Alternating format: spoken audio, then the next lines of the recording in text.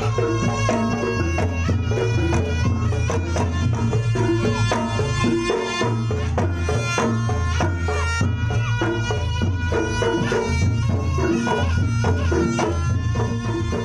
jadi Desa Kauman, Kecamatan Kauman, Kabupaten Ponorogo.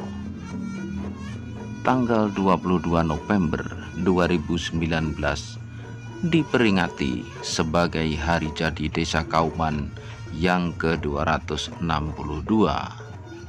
Di tengah peringatan ini terjadi satu kontroversi yang sempat viral di jagat sosial media Ponorogo yakni sebuah akun Facebook yang memposting sebuah ucapan nada yang tidak begitu menyukai atau bisa dibilang sebuah kritik keras terhadap pelaksanaan kegiatan kirap dalam rangka hari jadi desa Kauman tersebut yakni pengenaan selempang kain berwarna putih dan kain berwarna kuning dalam prosesi kirap.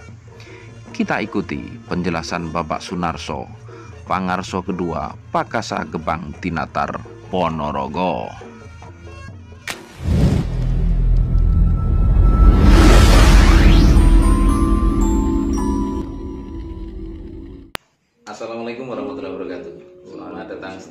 Di channel saya Purpusa Songko dan tetap tersenyum karena senyum adalah pintu menuju bahagia. Uh, baik, pada kesempatan kali ini saya suan kepada uh, Pak Sunarso Sunarso terus? Asmo Jatuh Sunarso Pak Sunarso beliau ini ketua Pakasa bukan ketua.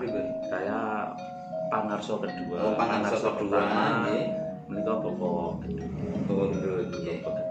Pakasa Gebang Gebang Tinatar. Pakasa menika paguyuban keluarga keraton Surakarta yang ada di Ponorogo. Makanya dikasih nama Gebang Tinatar biar lebih identik dengan Ponorogonya. Nah, uh, sedulur kita kemarin kan sempat ada viral di dunia sosmed terutama di Ponorogo bahkan juga sempat uh, memantik komentar-komentar yang negatif di samping itu sebenarnya yang perlu kita ungkap adalah rasa penasaran dari kaula muda tentang e, bagaimana tata cara upacara-upacara ada di Ponorogo, propertinya, kemudian pakaian-pakaiannya.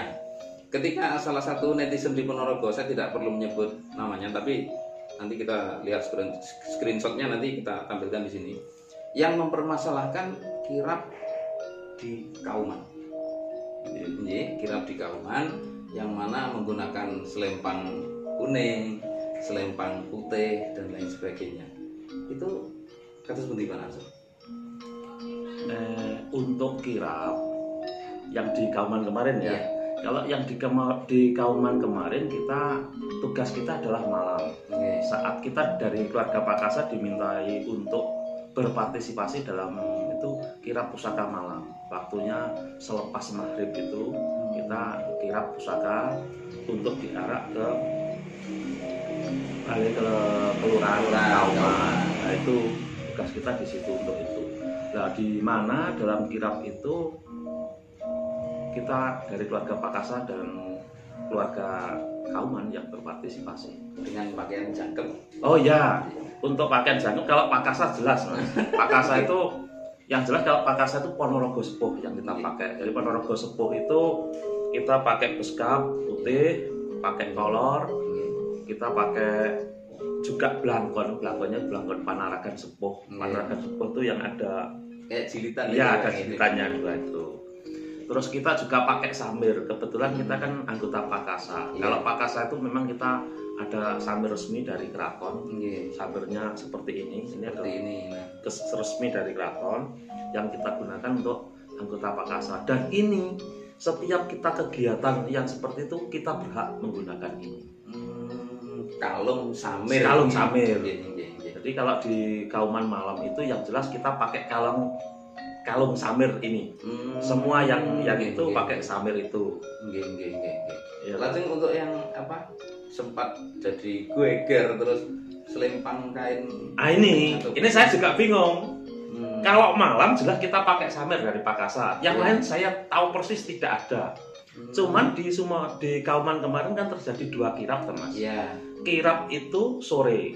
Iya. Siang hari sampai sore adalah kirap Buceng Pura. Buceng Pura. Iya, Jadi kita siang Pura. sampai sore itu Sore bukan Bukan, bukan pusaka. Bukan, bukan. Oke. Nah, di situ saya melihat dari foto-foto itu memang pakai serempang selain sambil dan itu boleh, tidak masalah. Serempang kayak penanda identitas Iya, ya, ada, Pak, ya. ada betul itu. Mungkin ada tulisannya ini BPD, kepala iya. desa, boleh, pamong, tidak dan lain masalah itu. Itu dan itu kreatif Bapak, kreasi untuk Hmm. menambah semarak itu boleh, tidak masalah. Artinya secara aturan keraton, paugeran keraton ini juga tidak menyalahi Loh, tidak no, Tidak. itu kan tradisi loh. Harap Tradisi loh, tradisi dan tidak menyalahi tradisi dan itu luar biasa kebangkitan budaya di Ponorogo, iya. Suatu desa mengadakan hari jadi itu luar Oke. biasa loh mas.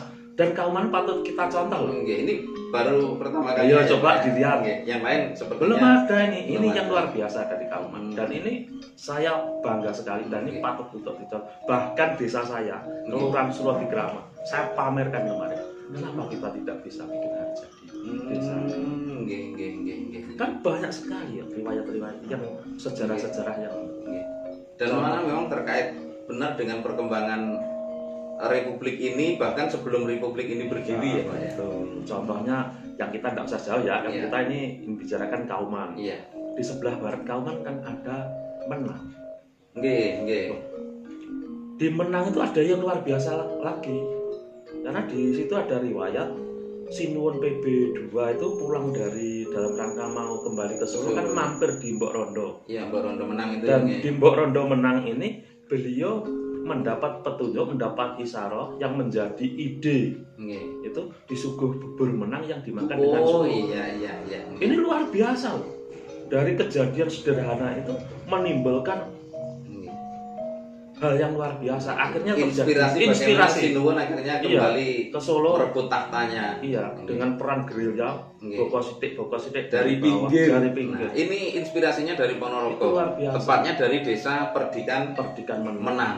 Dan ini setelah itu Mbok Rondo itu kan sowan ke Sinuwun. Nggih. Akhirnya diberi kemerdekaan, diberi tanah perdikan. Ini kan jelas, datanya ada. Nggih. Ini kan bisa dijadikan hari jadi menang. Nggih. Contohnya loh ini, Nggih. bisa serandil, Nggih. Badekan. bisa, pokoknya yang seperti itu bisa. Nggih, Itu yang nggih. yang jelas datanya. Juga yang lain Nggih. banyak sekali. Nggih.